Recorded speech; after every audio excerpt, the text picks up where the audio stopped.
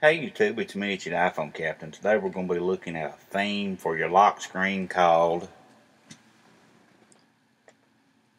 LS Striped Clock.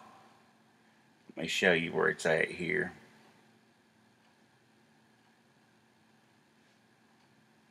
You have to have a couple things. First you're going to have to have lock screen, lock screen clock hide and you're going to have to have LS striped clock HD.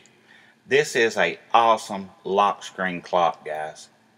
I think I'll always be running this on my device from now on. Doesn't that look awesome? And this clock keeps real time. You can see the second hand moving.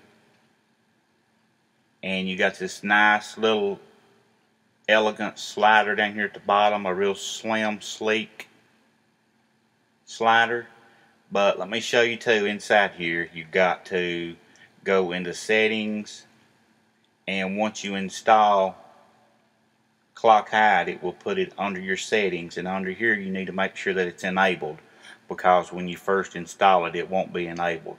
But you, you can also hide your status bar clock and do some more things inside here if you want to use those uh, tweaks as well inside there. You got that option but I'm only using the clock hide and let me show it to you one more time before we go.